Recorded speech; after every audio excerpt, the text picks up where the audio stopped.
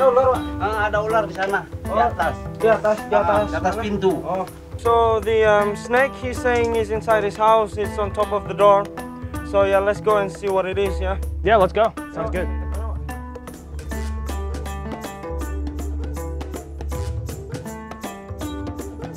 Oh, dude! We got a Gonyosoma.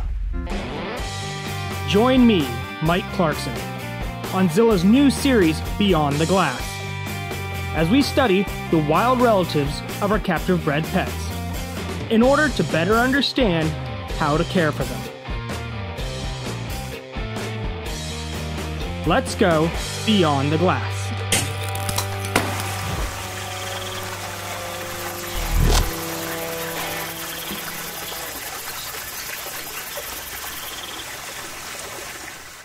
This holiday season, we want to thank the conservationists around the world who dedicate their lives to saving reptiles. So that's why Today, I'm headed to the Ciliwung Reptile Center to meet with a friend and fellow reptile conservationist, Nathan Roosley, to talk about what he's doing for reptiles in his community.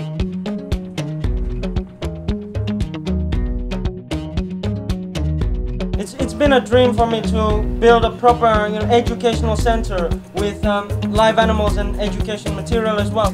So we've uh, already started a small collection here, you know, for live animals and education things, and we um, talk about several issues like pollution, snake bite, why reptiles are important, show people the venomous snakes and non-venomous snakes, you know, how to beware of them and um, how to respect them as well. Another part of Nathan's work in the community is making house calls to relocate reptiles.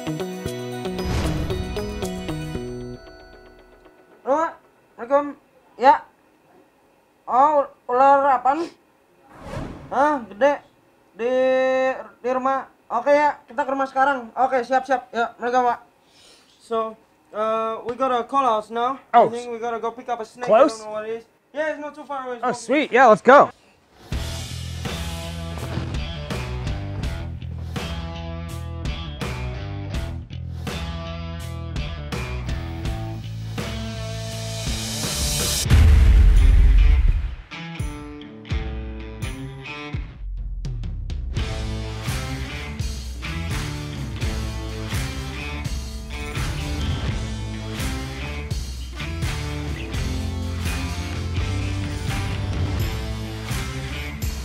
So, what are the most common things you're seeing on callouts here? Usually it's a wolf snake or a cobra. So, what do you think this might be? They told me it's on top of a door. Chances of a cobra, I mean, that high up a door. I don't think cobras, you know, will climb that high. What else are we thinking? Baby python, maybe? Yeah, probably a baby retic. We never know till we get there. So let's have a look.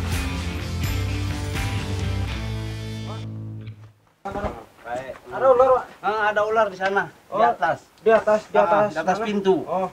So the um, snake he's saying is inside his house. It's on top of the door. So yeah, let's go and see what it is. Yeah. Yeah, let's go. Sounds good.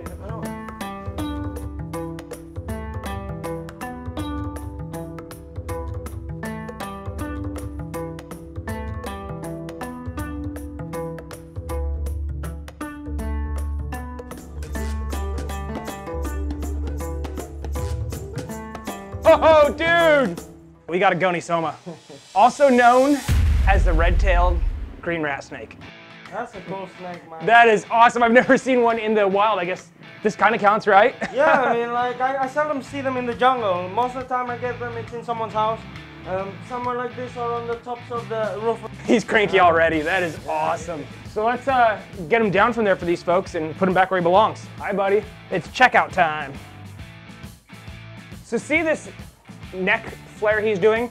That's a defensive display. And actually a lot of snakes do this. Boomslang in Africa do this. Uh, a, a lot of your tiger rat snakes in Central and South America do this. It's a common, awesome display. It's like a reverse cobra. This is a really neat snake. We're gonna take him out here. Actually, I just said him and I'm mistaken. I believe she's gravid. Yeah, Look at that. you can see the eggs. You can see the eggs, yeah, so we're gonna be really gentle. Now that she's all bagged up, we'll get this mama to a nice safe place for her to lay her eggs. That's pretty cool when you save a snake and a whole bunch more snakes all at once. Yeah, yeah. Thank you. Dude, that was awesome. She's got eggs in her, let's let her go. yeah.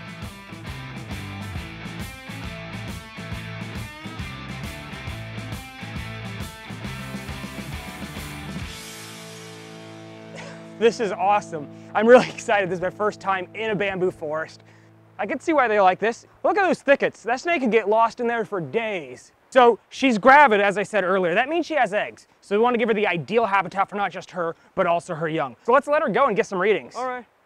This is the red-tailed green rat snake.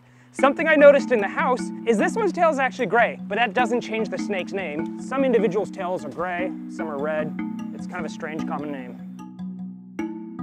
So these guys are a non-venomous rat snake. They're not rear fanged, they're constrictors, they're diurnal, and they're fairly common throughout Southeast Asia. They're pretty well known for their fiery temper. Some people captive breed them, but not nearly enough. You know what? She's expecting, so I don't want to stress her out anymore. Let's let her go. Bye-bye. Go find a good nesting spot.